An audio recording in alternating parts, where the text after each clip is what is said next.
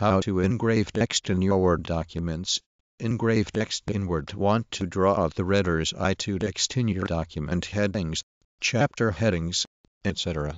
Summary. Add stylish engraved or embossed text inside your Word 2003 documents.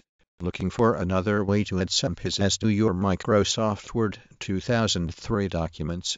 Engrave text in Word. Want to draw the reader's eye to text in your document headings, chapter headings, etc.